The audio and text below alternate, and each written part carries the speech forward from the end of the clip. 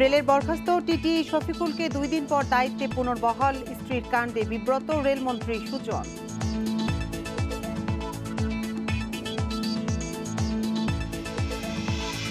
উত্তরাঞ্চলে পেট্রোল, অকটেনের সরবরাহ বেড়েছে। আজ ষোলো জেলার জ্বালানি তেলের সংকট, রাতের মধ্যেই সমাধানের আশা।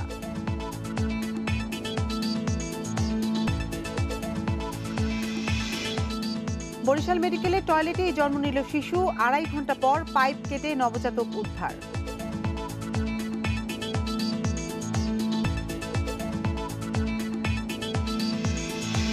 ঈদের ছুটিতে চট্টগ্রাম বন্দরে দীর্ঘ কন্টেইনার জট। সংকট কমাতে সমন্বিত উদ্যোগ চান ব্যবহারকারীরা।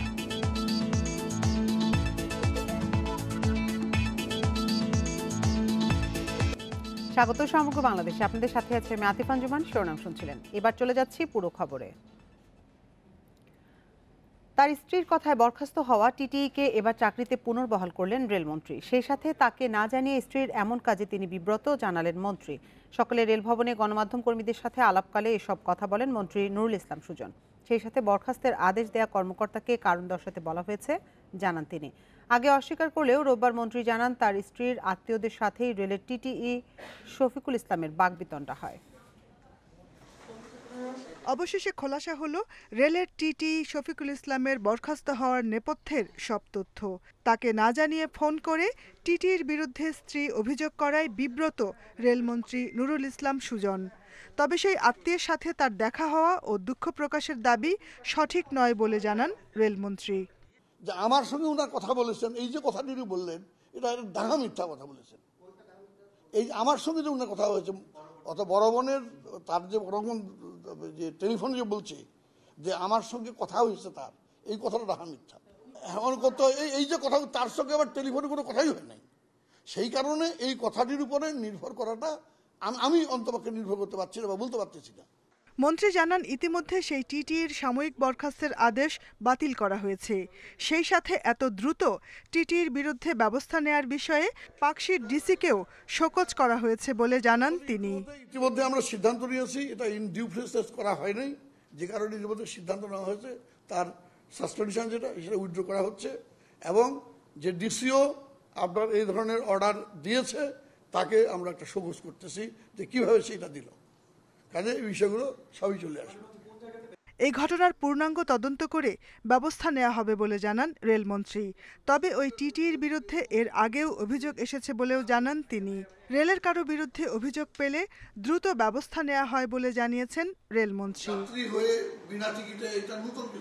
Jahanara Parvin Independent News Dhaka. এদিকে রেলমন্ত্রীর আত্মীয় পরিচয়ে বিনা টিকিটে রেল ভ্রমণ এবং তাদেরকে জরিমানা করায় ট্রেনের টিটি শফিকুল ইসলামকে সাময়িক বরখাস্তের আদেশ প্রত্যাহার করেছে রেলওয়ে। দুপুরে তার বরখাস্তের আদেশ প্রত্যাহারের বিষয়টি নিশ্চিত করেন পাকশি পশ্চিমাঞ্চল বিভাগীয় রেলওয়ে ব্যবস্থাপক শাহিদুল ইসলাম। এদিকে ঘটনায় তদন্ত কমিটির কার্যক্রম শুরু হয়েছে। তদন্তের সময় বাড়িয়ে দুই দিনের পরিবর্তে চার দিন করা হয়েছে। সেই সঙ্গে বিভাগীয় বাণিজ্যিক কর্মকর্তা নাসির উদ্দিনকে শোকজ করার সিদ্ধান্ত নেওয়া হয়েছে বলেও জানিয়েছে শাহিদুল ইসলাম। পাকশি বিভাগীয় রেলওয়ের ব্যবস্থাপক আরও জানান, কোনো রকম আত্মপক্ষ সমর্থনের বক্তব্য নেওয়া হয়নি শফিকুল ইসলামের। ফলে বরখাস্তের আদেশ অসঙ্গতি মনে হওয়ায় তার বরখাস্তের আদেশ প্রত্যাহার করা হয়। একই সঙ্গে তিনি তার চলমান দায়িত্ব পালন করবেন। ওই ঘটনায় তার রেসপন্স কী ছিল? তিনি সঠিক কাজ করেছেন না ভুল কাজ করেছেন, সেটা আসলে ইনকোয়ারির মাধ্যমে বের করা হবে। তিনি যদি আসলে ভুল না করে থাকেন, তাহলে তার কোনো ব্যবস্থা গ্রহণ করা হবে না। যাত্রীদের সাথে আমার তেমন কোনো কথাই হয়নি। শুধুমাত্র টিকিটের বিষয়ে একটু কথা হয়েছে এবং তারা, আমি সম্মানের সাথে বলেছি এবং তারাও সম্মানের সাথেই আমাকে যে ভাড়াটা চেয়েছি, সে ভাড়াটা দিয়ে দিয়েছে এবং এই সেই ভাড়ার রিসিপ্টটা দিয়ে আমি ওখান থেকে আমার কাজে আমি আবার শুরু করি। উত্তরাঞ্চলের ষোলো জেলার ফিলিং স্টেশনগুলোতে পেট্রোল সরবরাহ শুরু হয়েছে। রাতের মধ্যে জ্বালানি সংকট সমাধান হবে বলে আশা করছে বাংলাদেশ পেট্রোলিয়াম কর্পোরেশন, বিপিসি। তবে এখনও চাহিদা মতো পেট্রোল সরবরাহ না পাওয়ায় ভোগান্তিতে যানবাহন চালকরা। শেষ পর্যন্ত সমাধানের পথে উত্তরাঞ্চলের ষোলো জেলার পেট্রোল সংকট। যত দ্রুত সম্ভব, উত্তরবঙ্গের সবগুলো ফিলিং স্টেশনে পেট্রোল ও অকটেন সরবরাহ করা হবে বলে জানিয়েছে বাংলাদেশ পেট্রোলিয়াম কর্পোরেশন, বিপিসি। এরই মধ্যে সিরাজগঞ্জের ডিপোতে প্রতিটি তেলবাহী ট্যাঙ্কারে তেল রিফিল করা শুরু হয়েছে। এরপর পাম্পগুলোতে তাদের চাহিদা মতো তেল দেয়া হবে। বিপিসি জানায়, ডিপোতে তেলের কোনো সংকট নেই। ঈদের দীর্ঘ ছুটির কারণে তেল সরবরাহে বেগ পেতে হয়েছে। তেল না থাকায় বন্ধ পেট্রোল পাম্পগুলো। নাটোরের পাম্প মালিকরা জানান ডিপোতে তেলের টাকা পাঠানোর পরও চাহিদা মতো পেট্রোল সরবরাহ করা হচ্ছে না। মজুদ থাকা অল্প পরিমাণ অক্টেনেই চালকদের কাছে বিক্রি করছেন তারা। ও এখন তেল নাই উঠালাম একশো টাকার। এই নিয়ে যেতে হবে আমার তো কাজ আছে ফিল্ডে যেতে হবে। তেল আনতে আজকে আমাদের গাড়ি গেছে যদি পায় তো সারাদিন কালকে থেকে আমরা পেট্রোল অকটেন দুটো দিতে পারব। পেট্রোল সংকটে পাবনায় চরম ভোগান্তি পোহাচ্ছেন যানবাহনের চালক ও যাত্রীরা। পাম্প কর্তৃপক্ষ ও খুচরা বিক্রেতারা বলছেন ডিপো থেকে পেট্রোল সরবরাহ হলেই সংকটের সমাধান হবে। গত আট দশ দিন ধরেই আমরা দেখতে পাচ্ছি যে তেল পাম্পেও নাই এবং দোকান দোকানে কিনতে গেলে তারা একশো ষাট থেকে সত্তর টাকা লিটার নেয়। গতকালকেও আমি তেল নিতে পারিনি। আজকেও মনে হচ্ছে ফিরে যেতে হচ্ছে। ঠাকুরগাঁয়ে প্রতিদিন প্রায় নব্বই হাজার লিটার পেট্রোল অকটেন ও ডিজেলের চাহিদা রয়েছে। তবে সরবরাহ না থাকায় বিপাকে পেট্রোল পাম্প কর্তৃপক্ষ এবং খুচরা বিক্রেতারা। এটা সিন্ডিকেট করে এরা এই- এই অবস্থানটা তৈরি করছে। এটা তো কর্তৃপক্ষের প্রতি আমার দৃষ্টি আকর্ষণ করছি, এটা যথাযথ হোক, যেন তারা ইয়ার নেয়। এক সপ্তাহ ধরে নীলফামারীর প্রায় সবগুলো ফিলিং স্টেশনে পেট্রোল বিক্রি বন্ধ। ডিপো থেকে কখন পেট্রোল আসবে, এ বিষয়ে নিশ্চিত নন ব্যবসায়ীরা। Nurselina Shiuli Independent News Barishal Sher e Bangla medical college হাসপাতালের টয়লেটে কন্যা শিশু প্রসব করেছেন এক মা। সেই নবজাতককে আধা ঘণ্টার চেষ্টার পর টয়লেটের প্যানের পাইপ ভেঙে উদ্ধার করা হয়েছে।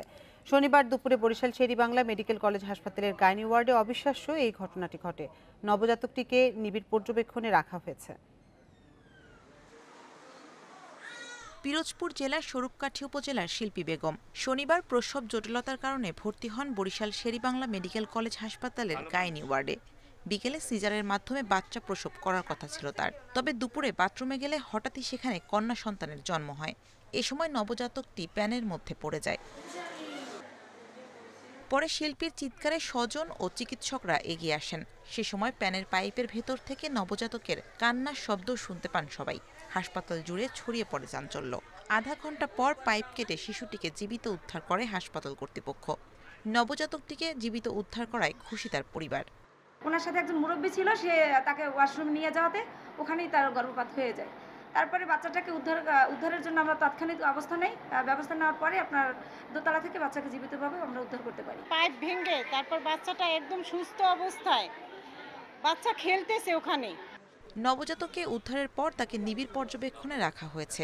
প্রসূতি মাকেও সর্বোচ্চ নজরদারিতে রাখা হয়েছে বলে জানায় হাসপাতাল কর্তৃপক্ষ। যদিও তার ওজন কম সময়ের আগে হয়েছে সুতরাং এখন তার অবস্থান যে সার্বিক অবস্থানটা ভালো। অ্যাক্টিভিটি ভালো আছে নড়াচড়া ভালো আছে। স্পেশালি টেক কেয়ারের জন্য আমরা নিউনেটাল ওয়ার্ডে আমাদের স্ক্যান আলাদা একটা ডিপার্টমেন্ট আছে সেখানে নিবিড় পরিচর্যা কেন্দ্র বলে।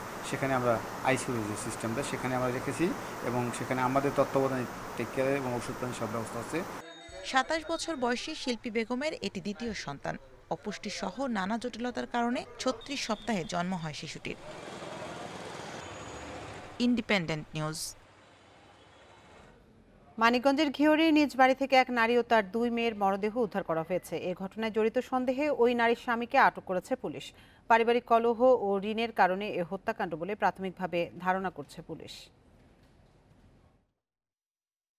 প্রতিদিনের মতোই শনিবার রাতে ঘুমাতে যান মানিকগঞ্জের ঘিওর উপজেলার আসাদুজ্জামান রুবেল তার স্ত্রী লাভলি আক্তার ও তাদের দুই মেয়ে ছোয়া আক্তার ও কথা আক্তার। তবে সকালে লাভলি ও তার দুই মেয়ের রক্তাক্ত মরদেহ দেখতে পায় স্থানীয়রা। খবর পেয়ে পুলিশ গিয়ে তাদের মরদেহ উদ্ধার করে। স্বজন ও স্থানীয়রা জানায়, বেশ কিছুদিন ধরে রুবেল ও তার স্ত্রী লাভলির মধ্যে পারিবারিক কলহ চলছিল। উপজেলার বানিয়াজুড়ি বাসস্ট্যান্ডে দন্ত চিকিৎসক হিসেবে কাজ করতেন রুবেল। সম্প্রতি ভুল চিকিৎসার কারণে স্থানীয়রা তাকে দেড় লাখ টাকা জরিমানা করেন। এই জরিমানার টাকাই রোববার পরিশোধের কথা ছিল রুবেলের।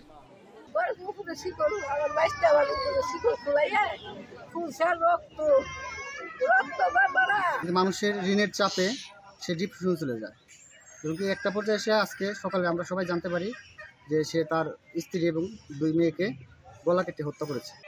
স্থানীয়রা জানায় ঋণের চাপ সইতে না পেরে স্ত্রী সন্তানদের হত্যার পর ঢাকা-আরিচা মহাসড়কে বাসের নিচে ঝাঁপ দিয়ে আত্মহত্যার চেষ্টা করে রুবেল। রুবেলের খোঁজাখুঁজি করলাম। কোথাও না পাওয়া পরে আমাদের পুকুরিয়া থেকে একজন পাচুরিয়া থেকে একজন ফোন দিল যে ওই আর এখানে পাওয়া গেছে তাদের আসে আমরা দৌড়াই গেলাম যা দেখলাম যে এখানে আত্মহত্যার চেষ্টা করতেছে। তিনজনকেই গলা কেটে হত্যা করা হয়েছে বলে প্রাথমিকভাবে ধারণা পুলিশের। হত্যাকাণ্ডে জড়িত সন্দেহে রুবেলকে আটক করেছে পুলিশ। প্রচুর পরিমাণে ঋণ ছিল এবং ডিপ্রেস ছিল এবং তার সাম্প্রতিক কিন্তু ফেসবুক পোস্টও আমরা দেখেছি। আমাদের নজরদারির মধ্যে আওতার মধ্যে আছে। বিশ বছর আগে ভালোবেসে ঘর বেঁধেছিলেন আসাদুজ্জামান রুবেল ও লাভলি আক্তার। হত্যাকাণ্ডের পর এলাকায় শোকের ছায়া নেমে এসেছে। Independent news. ঈদ শেষে কর্মস্থলে ফিরছে মানুষ। সড়ক মহাসড়কে আছে ঢাকামুখী যানবাহনের চাপ। এদিকে দৌলতদিয়া ফেরিঘাটে গত দুই দিনের তুলনায় যাত্রী ও পণ্যবাহী যানবাহনের সংখ্যা কিছুটা কম। সকাল থেকে দুই কিলোমিটার এলাকায় যাত্রীবাহী পরিবহন ও পাঁচ কিলোমিটার এলাকায় পণ্যবাহী ট্রাক পারের অপেক্ষায় রয়েছে। এতে ভোগান্তিতে রয়েছে এই রুটের চালক যাত্রীরা। এদিকে সড়ক মহাসড়কে ঢাকামুখী যাত্রীবাহী ও পণ্যবাহী পরিবহনের চাপ আছে।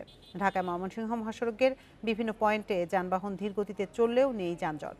যানজট নিরসন ও নিরাপত্তায় বিভিন্ন পয়েন্টে কাজ করছে পুলিশ। এছাড়া সকাল থেকে ঢাকা টাঙ্গাইল বঙ্গবন্ধু সেতু মহাসড়কে সেতুর পূর্বপার এলাকা থেকে এলেঙ্গা পর্যন্ত সাড়ে তেরো কিলোমিটার সকাল থেকে যানবাহন ধীরগতিতে চলছে। তবে কোথাও যানজটের সৃষ্টি হয়নি। মতন আইসি ভাড়া নেওয়ার চেষ্টা করছে কিন্তু আমি লিগাল মতন আইসি রাস্তায় কোনো ভোগান্তি ছিল না? রাস্তা একদম ফাঁকা ছিল কোনো যানজট ছিল না? তেমন জ্যাম পাওয়া যায়নি এখন পর্যন্ত। আর আমি যাব এখান থেকে মানে, জয়দেবপুর স্টেশন থেকে পঞ্চগড়।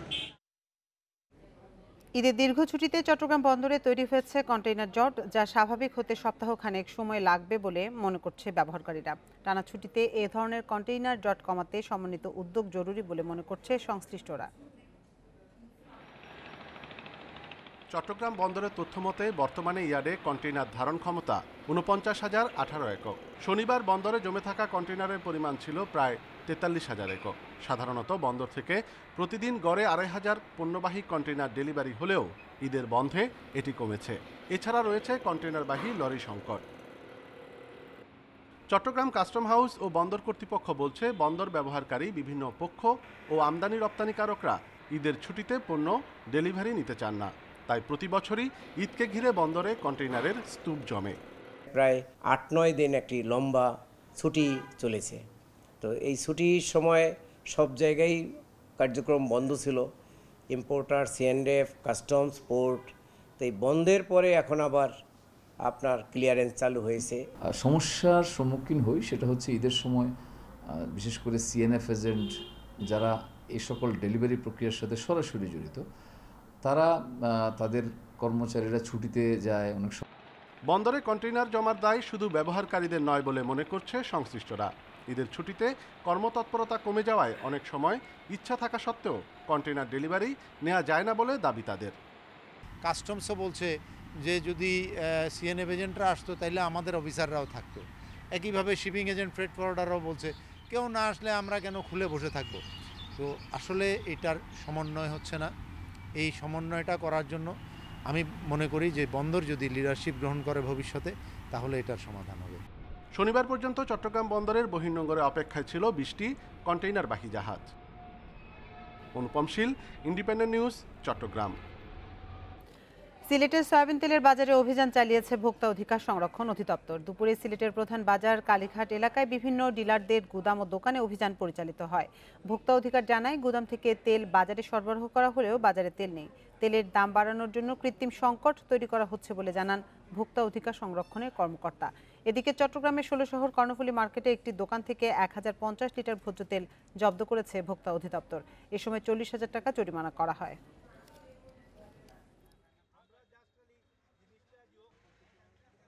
মিল থেকে বলছে যে তেল দেওয়া হচ্ছে, কিন্তু বাজারে যখন আমরা আসছি তখন সেখানে তেল নেই। তাহলে এই তেলটি কোথায় আছে? সেটি আমাদেরকে ইনভেস্টিগেট করার জন্য আমাদেরকে বললেন। পাশাপাশি এই জিনিসটি আমাদেরকে দেখা যে তেল যাতে কেউ অবৈধভাবে মজুত না করে। সরকার যে মূল্য নির্ধারণ করেছে, সেই নির্ধারিত মূল্যে তেলটি যাতে বিক্রি হয় যথাযথভাবে, সেটি নিশ্চিত করার জন্যই আজকে আমরা এই কালীঘাট বা সিলেটের প্রধান বাজার হিসেবে কালীঘাটে আমরা প্রথমে অভিযান করলাম। চাঁদার টাকা না দেয় চট্টগ্রামের পাহাড়তলি বাজার এলাকায় ফরিদ নামে এক ওয়ার্কশপ ব্যবসায়ীকে পিটিয়ে হত্যা করেছে দুর্বৃত্তরা। শনিবার রাতে পাহাড়তলি রেল স্টেশন সংলগ্ন মসজিদ এলাকায় এ ঘটনা ঘটে। নিহতের পরিবার জানায়, গেল রমজানে পাহাড়তলি রেল স্টেশন এলাকায় রেলের জায়গায় ভাড়া ঘর তোলেন ফরিদ। এরপর তার কাছে দুই লাখ টাকা চাঁদা দাবি করে আসছিল স্থানীয় কয়েকজন। চাঁদা দিতে অস্বীকার করার জের ধরেই শনিবার রাতে ফরিদের উপর হামলা চালায় বেশ কয়েকজন। সে সময় তাকে গুরুতর অবস্থায় চট্টগ্রাম মেডিকেল কলেজ হাসপাতালে নেওয়া হলে চিকিৎসক ফরিদকে মৃত ঘোষণা করে। এ ঘটনায় এখন পর্যন্ত মামলা হয়নি। এদিকে হত্যার ঘটনার পরে ঘটনাস্থল পরিদর্শন করেছে পুলিশ কর্মকর্তারা।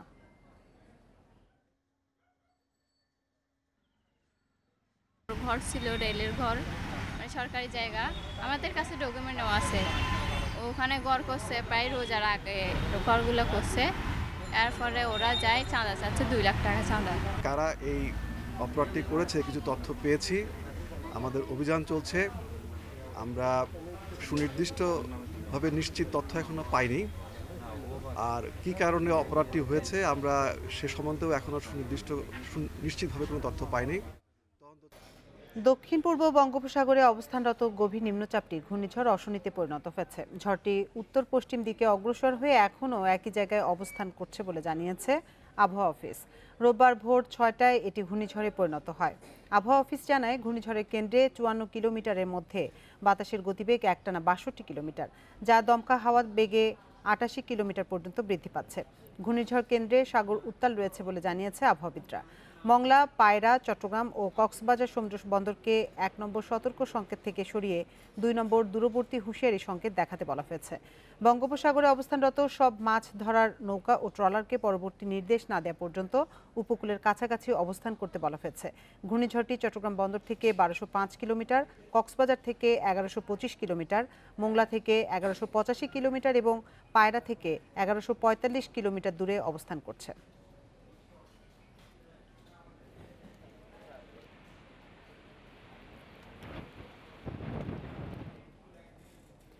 লক্ষ্মীপুরের কমলনগরে নিখোঁজের দুদিনেও সন্ধান মেলেনি একই পরিবারের চার কিশোরী। এ ঘটনায় কমলনগর থানায় সাধারণ ডায়েরি করেছেন নিখোঁজ কিশোরীদের দাদি আকলিমা বেগম। তাদের বয়স বারো থেকে চোদ্দ বছরের মধ্যে। নিখোঁজ কিশোরীরা সম্পর্কে খালাতো বোন। স্বজনরা জানায়, গতকাল সকালে ওই চারজন নোয়াখালীতে নানার বাড়িতে যাওয়ার উদ্দেশ্যে ঘর থেকে বের হয়। কিন্তু রাত পর্যন্ত সেখানে না পৌঁছানোয় খোঁজাখুঁজি শুরু হয়। পরে রাতে নিখোঁজদের সন্ধান পেতে ডায়েরি করা হয় থানায়।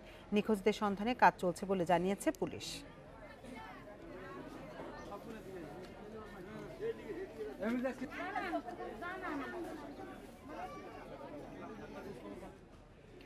পর্যটন মন্ত্রণালয়ের প্রজ্ঞাপনের বাইরে গিয়ে জাফলংয়ে প্রবেশে ফি নির্ধারণ করে জেলা পর্যটন উন্নয়ন কমিটি, যা অবৈধ এবং এখতিয়ার বহির্ভূত বলছেন আইন বিশেষজ্ঞরা।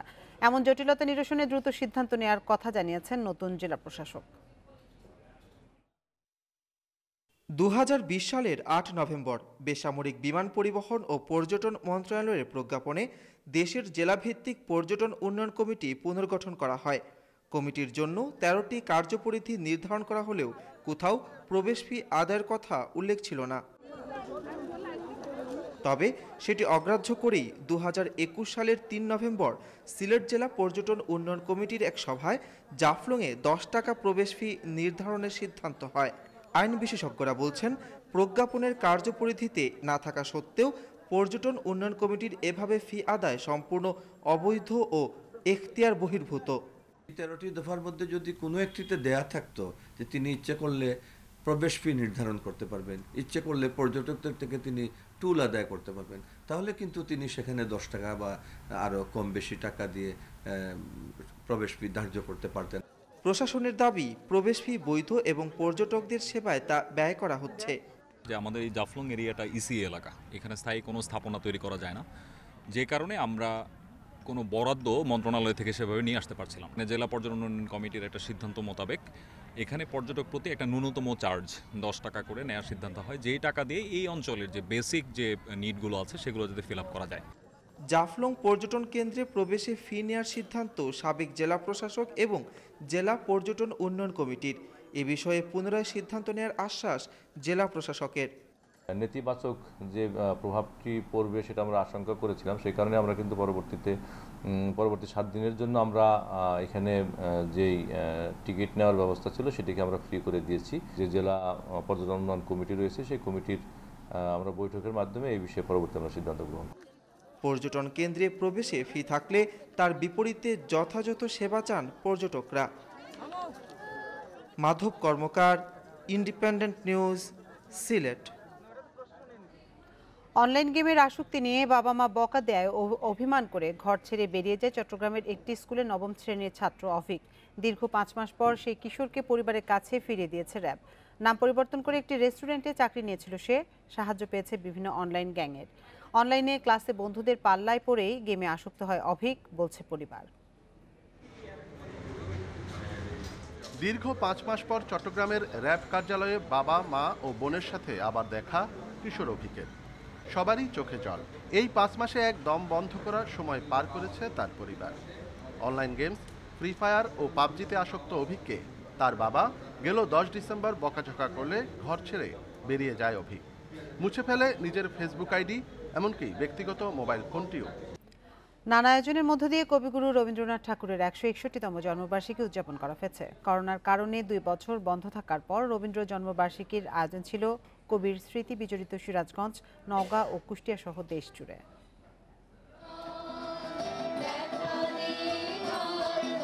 কবিগুরুর জন্মবার্ষিকীতে নওগাঁর প্রতিসরে ঢল নামে রবীন্দ্র ভক্তদের দিনটি উদযাপনে কবির স্মৃতি বিজড়িত পতিসর কাছারি বাড়ি প্রাঙ্গণে ছুটে যান ভক্তরা।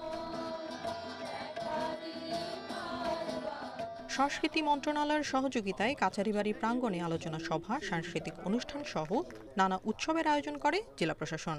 প্রধান অতিথি হিসেবে অনুষ্ঠানের উদ্বোধন করে খাদ্যমন্ত্রী সাধনচন্দ্র মজুমদার বলেন, গান ও কবিতার মধ্য দিয়ে মানুষের মধ্যে স্বাধীনতার চেতনা জাগিয়েছেন কবিগুরু।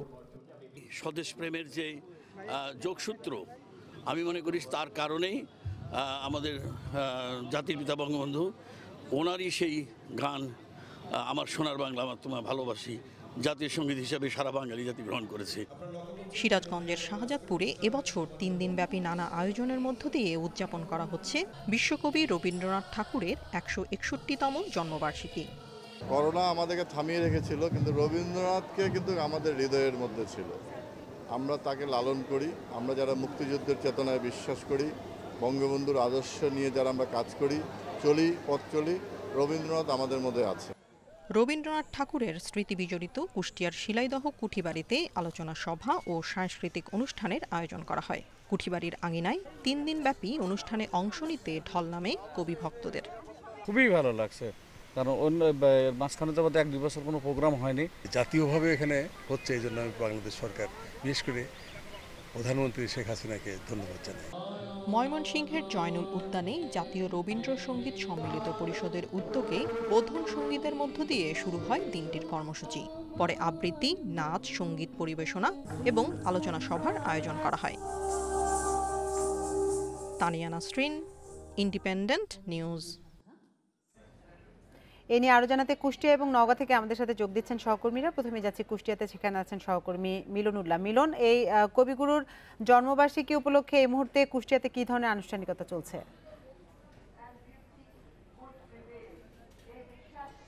হ্যাঁ আসলে যেমনটি বলছিলেন যে কবিগুরুর একশো একষট্টিতম জন্মবার্ষিকী উপলক্ষে কুষ্টিয়ার এই শিলয়দাহের স্মৃতি বিজড়িত যে কুঠিবাড়ি, এই কুঠিবাড়িতে কিন্তু বর্ণাঢ্য তিন দিনের আয়োজন কিছুক্ষণ আগে শুরু হয়েছে। যদিও এই অনুষ্ঠানটি আড়াইটের সময় শুরু হওয়ার কথা ছিল, কিন্তু সেটা একটু বিলম্ব হয়ে সোয়া তিনটার দিকে অনুষ্ঠান শুরু হয়েছে। এখন কুঠিবাড়ির যে মূল মঞ্চ আমার ঠিক পিছনে, এই মূল মঞ্চে কিন্তু অনুষ্ঠানের যিনি প্রধান অতিথি জাতীয় সংসদ সংসদদের ডক্টর শিরিন সুলতানা, তিনি কিন্তু এখন বক্তব্য রাখছেন এবং এর পরপরই কিন্তু সাংস্কৃতিক অনুষ্ঠান হবে। সাংস্কৃতিক মন্ত্রণালয়ের প্রতিমন্ত্রী কে এম খালিদের সভাপতিত্বে কিন্তু এই অনুষ্ঠান চলছে। এই অনুষ্ঠান চলবে হলো তিন দিন ব্যাপী। তো আসলে এই যে কুঠিবাড়ি যে আহ, আহ, স্মৃতি বিজড়িত বলা হয় এই কুঠিবাড়িকে ঘিরে কিন্তু রবীন্দ্রনাথের এটাকে স্বপ্নের বাড়ি বলা হয়। কারণ রবীন্দ্রনাথের যে যৌবন বয়স সেই যৌবন বয়সের অধিকাংশটাই কিন্তু কেটেছে এই কুঠিবাড়িতে। তিনি যে বিশ্বখ্যাত হয়েছিলেন যে নোবেল প্রাইজের জন্য সেই নোবেলও কিন্তু এই কুঠিবাড়ির এখান থেকেই কিন্তু অনুবাদ হয়েছিল বলে জানা যায়। এছাড়াও তার গীতাঞ্জলি চৈতালি এবং চৈতি যেসব আরও যেসব উপন্যাস আছে এবং আমাদের যে জাতীয় সংগীত, সেটাও কিন্তু এই কুঠিবাড়িতেই তিনি রচনা করেছিলেন। যার কারণে কিন্তু এই কুঠিবাড়ির সাথে রবীন্দ্রনাথের একটি ওতপ্রোত সম্পর্ক ছিল এবং ঐতিহাসিক এবং ইতিহাস যে বলা হয়, সেটার সাথে কিন্তু এই কুঠিবাড়ি সম্পর্কিত। সেই জন্য কিন্তু এই কুঠিবাড়িতে যে দর্শনার্থী, সেই দর্শনার্থীদের কিন্তু গত তিন দিন যাবতই ঢল নেমেছে এবং এখন পর্যন্ত সেই দর্শনার্থীরা এখানে ঘুরছে এবং আলোচনার যে মঞ্চ, মূল মঞ্চ, সেই মঞ্চে কিন্তু তারা আলোচনা সভায় অংশগ্রহণ করছে। তো আজকে ছিল প্রথম দিন, এরপরে কালকেও কিন্তু একই সময়ে এই অনুষ্ঠান হবে এবং তার পরশু দিন তৃতীয় দিনে কুষ্টিয়া সদর আসনের যিনি সংসদ সদস্য আছেন, মাহবুল আলম হানিফ তা, তিনি কিন্তু এই অনুষ্ঠানের সমাপনী ঘোষণা করবেন। তো মোটামুটি কুষ্টিয়ার যে কুঠিবাড়ি, এটি এখন দর্শনার্থীদের পদভারে মুখরিত এবং আলোচনা সভা একদিকে চলছে। দর্শনার্থীরা যে কুঠিবাড়ির যে জাদুঘর, সে জাদুঘর পরিদর্শন করছেন। আর সাংস্কৃতিক যারা মনা ব্যক্তিত্ব আছে, তারা কিন্তু আর কিছুক্ষণ পরে এই মঞ্চে শুরু হবে সাংস্কৃতিক অনুষ্ঠান, রবীন্দ্রসঙ্গীত এবং রবীন্দ্রনাথের উপরে নির্মিত বিভিন্ন যে মঞ্চ নাটক সেগুলো কিন্তু আর কিছুক্ষণের ভিতরে শুরু হবে। তো এইটির অপেক্ষায় কিন্তু দর্শকরা এখন অপেক্ষা করছে। তো এই ছিল মোটামুটি রবীন্দ্রনাথের একষট্টিতম একশো একষট্টিতম জন্মজয়ন্তী উপলক্ষে কুষ্টিয়া থেকে আমার কাছে সর্বশেষ সংবাদ। মিলন, আপনি সাথেই থাকুন। এবার আমরা যাব নওগাঁয়। সেখানে আছেন সহকর্মী সাদিকুল ইসলাম। সাদিকুল কবিগুরু রবীন্দ্রনাথ ঠাকুরের জন্মবার্ষিকী উপলক্ষে নওগাঁয় কি ধরনের আয়োজন ছিল সারাদিন ব্যাপী আর এখন এই মুহূর্তে কি ধরনের আনুষ্ঠানিকতা চলছে?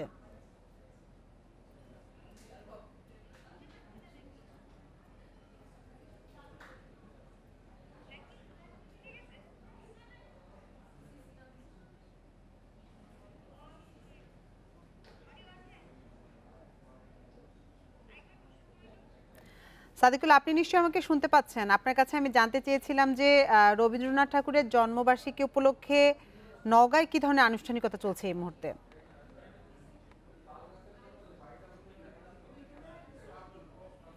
দর্শক দুঃখিত, আমাদের সংযোগটি বিচ্ছিন্ন হয়ে গেছে। আমরা পরবর্তীতে আবার আমাদের প্রতিনিধির সাথে সংযোগের চেষ্টা করব।